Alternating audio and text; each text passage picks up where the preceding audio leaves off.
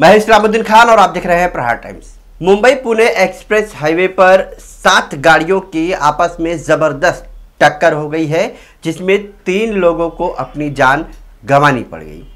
सात गाड़ियों की इस कदर आपस में टक्कर हुई है कि गाड़ियों की परखच्छे उड़ गए हैं और कई लोग इसमें घायल भी हुए हैं, जिन्हें अस्पताल में भर्ती भी कराया गया है।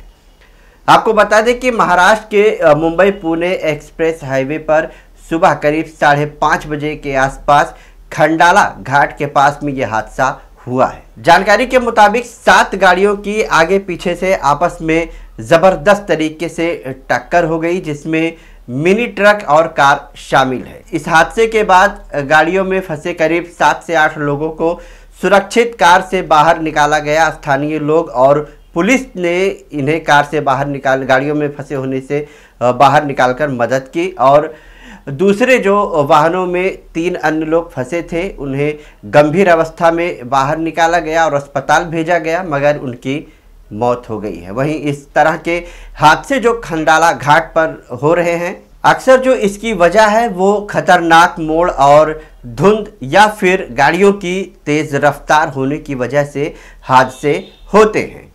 इसी तरह से जो सुबह सुबह करीब साढ़े पाँच बजे के आसपास ये सात गाड़ियों की आपस में टक्कर हुई, जिनमें तीन लोगों ने अपनी जान गंवा दी है। तो तमाम खबरों को जानने के लिए देखते रहिए प्रहार टाइम्स